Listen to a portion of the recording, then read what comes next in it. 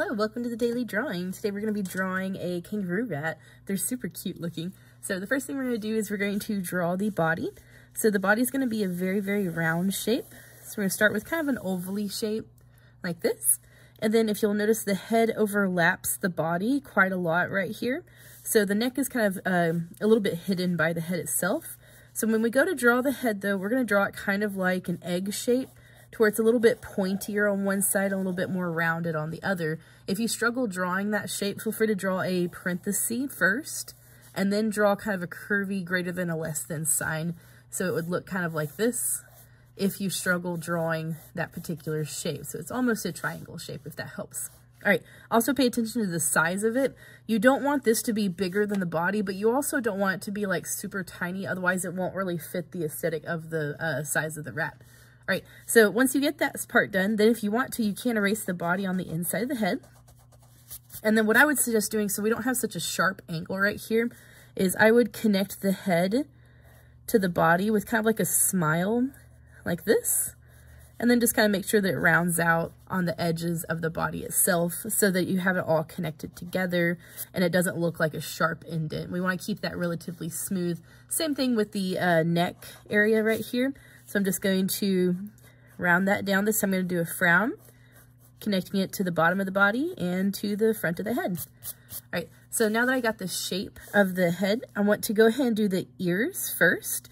If I notice this ear right here is on the edge where the body meets the neck, and it's going to go up in a little bit of a frown shape. So they're pretty small. So I'm just going to start right here above the neck area. I'm going to do a frown line and connect it back up to the head. You don't have to make these too big. Um, I know the older they get, the slightly bigger their ears get for some cases. This one's kind of like a younger baby one, so that's why they're a little bit smaller. All right, now if I go directly down here, we can see directly down from it is where the other ear is going to be located. And it's also located a little bit further down from the center of the head. If this right here is the center of the head, notice that the ear is located directly below it. So if I find the center of the head, which would be about here, then I can, then I can draw the ear down below it. So if I go frowny face, like this, then that can help me get my ear shape. And you can draw a little bigger, a little smaller, however big that you want it. So I just drew a little extra line to make it look a little bit bigger.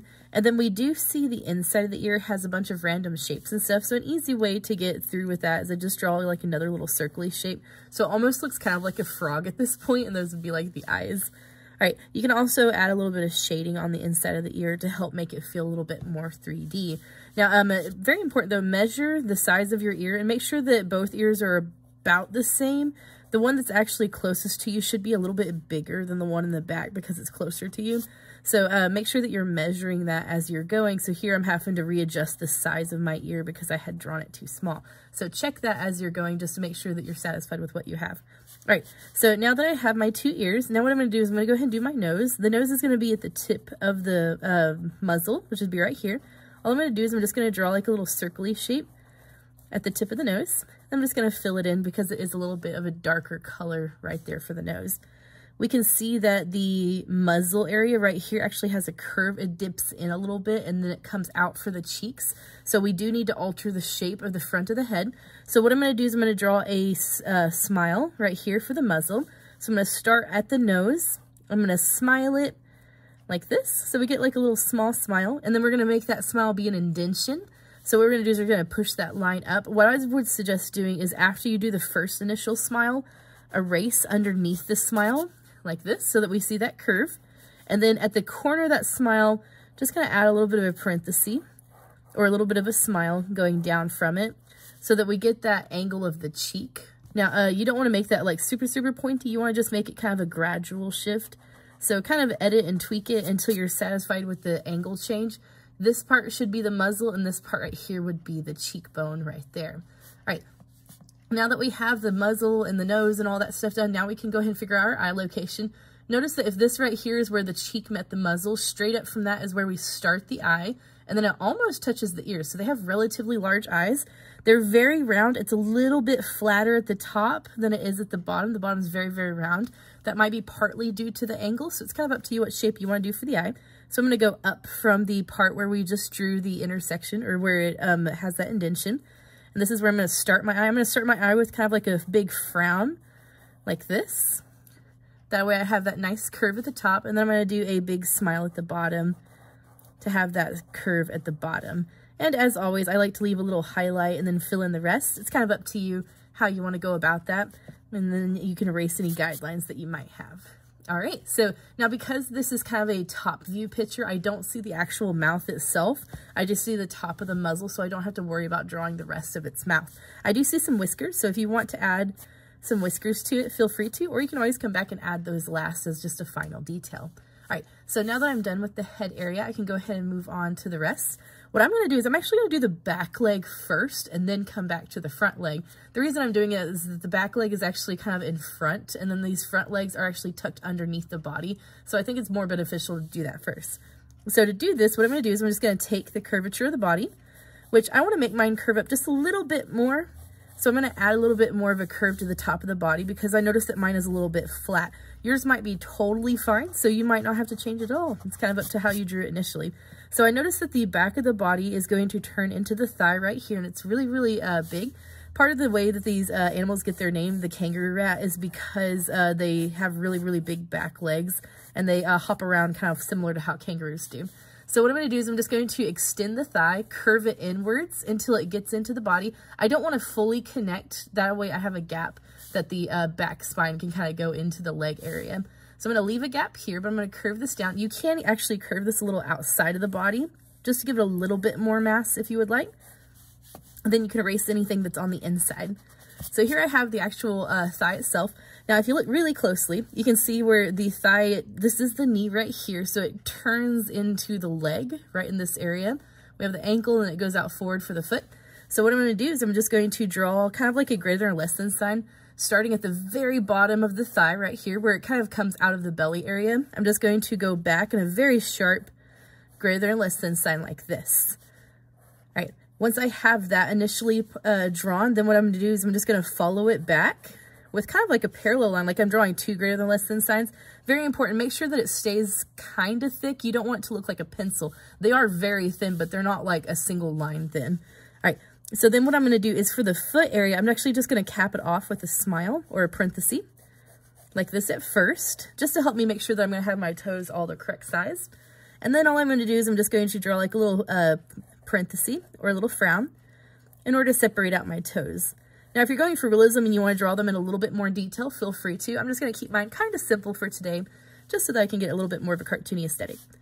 All right, now uh, some things that you can do is uh, the legs are kind of more uh, skin and then they have fur on top of it. So where you see the leg turning into the foot, essentially, what I would suggest doing is add fur texture there, just to give a little bit more uh, understanding of what's going on in that particular part of that animal. All right, then from here, I can go ahead and do my lower legs. So here we can see this is just a tiny part of the shoulder sticking out.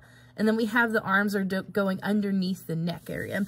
So what I'm going to do is I'm going to draw just like a small parenthesis like this on the front edge of the uh, arm area. And then I'm just going to tuck this underneath in a frown. Very, very small. Keep it close to the body. Don't go too far down. Otherwise, your arm will be like on the ground.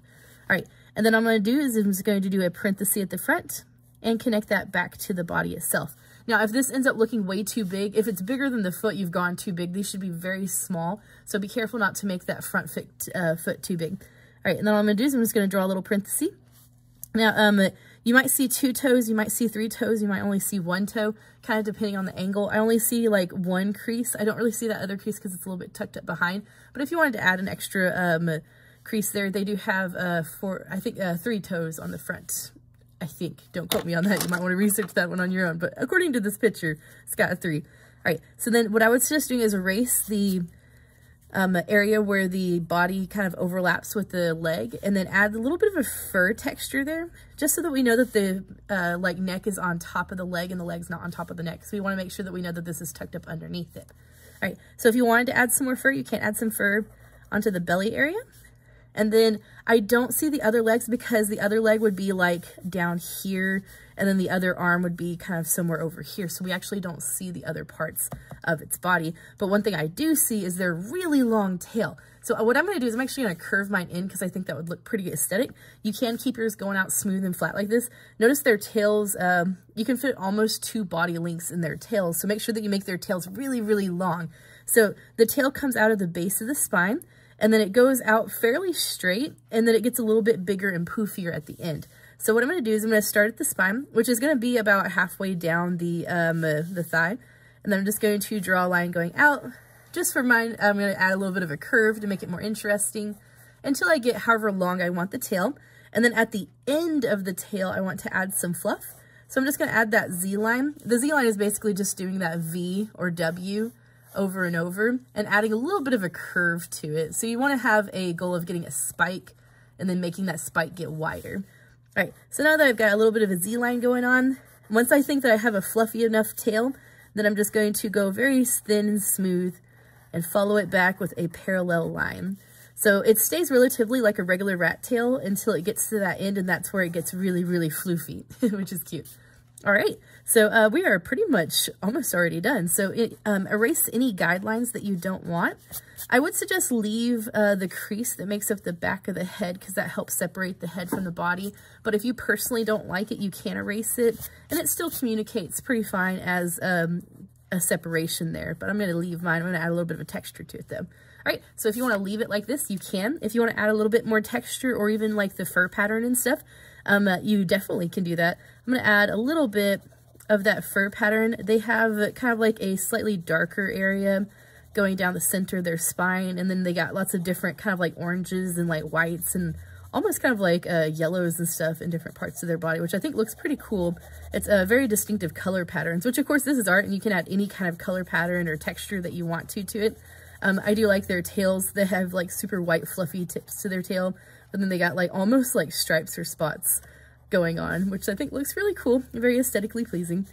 All right, so I think, um, ooh, they have like a little mask that's so cute. All right, so I think I'm uh, almost done. I'm just gonna add a little bit of uh, shading to this, just to add a little bit more emphasis to certain areas, especially with those overlaps. So I'm gonna overlap this arm with a little bit more shadow, maybe a little bit more on the belly, just to give it a little bit more three-dimensionality. I'm also going to add a little bit of a shadow to the ground to help make it feel as though we're looking at the uh, kind of top-ish of this animal so it feels more like it's actually sitting on the ground. All right, so uh, once you are satisfied with your shading, if, the, if you ever go any uh, areas that are too dark, feel free to erase it or lighten it up.